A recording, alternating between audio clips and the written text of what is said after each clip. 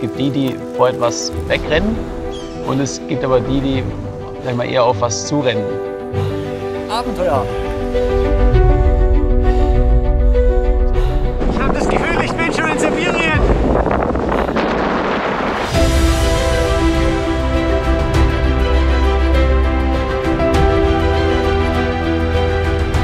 Oh, es ist kalt.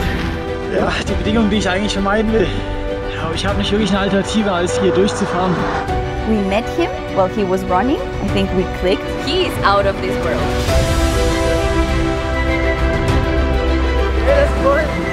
Hey, hola, sí.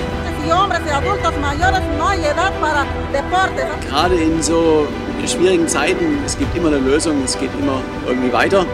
Ist vielleicht nicht der, der ursprünglich geplante Weg, aber vielleicht ein besserer.